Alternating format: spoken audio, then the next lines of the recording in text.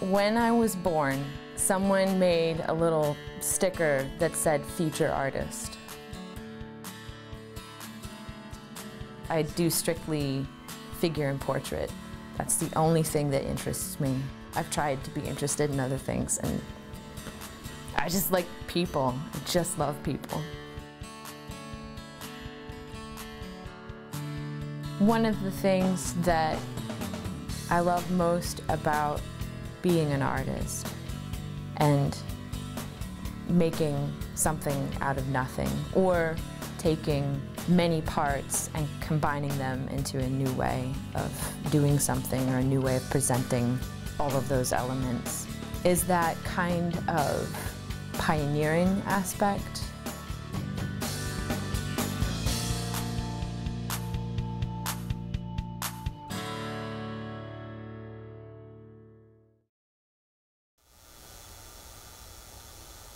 Right now, I'm being recognized for one of the things that I do, but when people ask me what do I do, it's really hard for me to say I make wine stains. I do make wine stains, but I also do a lot of other things.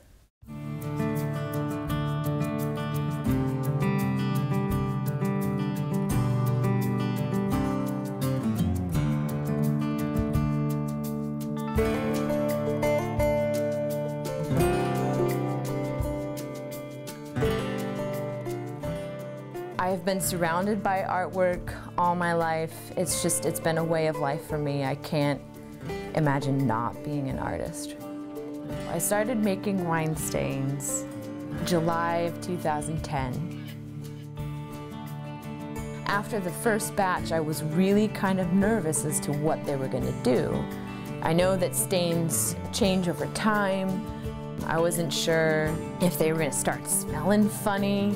You know, I had no idea what they were going to do, and so I didn't show anybody for a good year. And I uh, just waited and I watched them and I put them up and I they didn't seem to do anything. They didn't seem to fade too much and so I thought to myself, all right, well, I will show these to the world. And then it was out of my hands.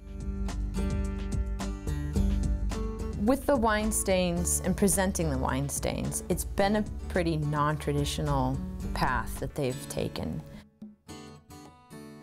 most of the exposure has been uh, not in a gallery, which I think is kind of special.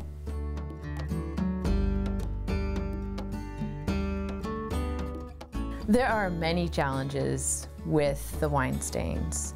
As I said before, it's because I don't know of anybody else doing this. And so I can't just say, I can't look up on a forum or I can't you know, look up some other artist and try to get a hold of them and say, hey, I've been having trouble.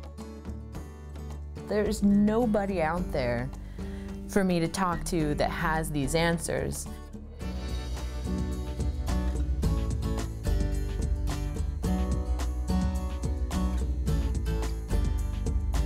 The greatest challenge is the fact that these are very organic things that I'm using, you know, the cotton, the wax, the wine, which is actually one of the things I love most about the wine stains is that it's a very simple ingredients. There's no like what's in acrylic. I don't know what's in acrylic, but I know what's in wine and cotton is cotton and wax is wax. So I like the very simplicity, uh, the nature of that. But there is the fact that these will change and I'm not entirely certain how they will change. And at, for a while, I was really scared to admit that, but at this point, um, what's the point of me hiding it? It's just how it is.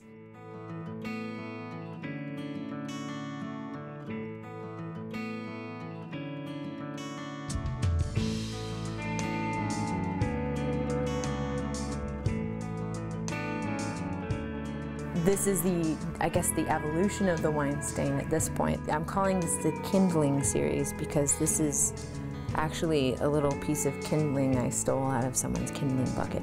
The darkest lines are actually wood burning, and then the red that you see is wine, and then this is a white gouache, and then this is gold ink. I really like that kind of classical representational style as well. I drink the wine while I paint with it. Which, I mean, how many artists can say that? If you, if you eat the stuff that you use for oil, you're gonna poison yourself. I really enjoy the nature of being able to drink my medium. I'm just using it in a way that is really fun for me. And I think it's fun for people to look at because it's a way to, to see something in a different light. Um, and it's just, it's pretty cool, you know? I didn't think, I didn't even think you could paint with wine. so it's been an interesting process for me.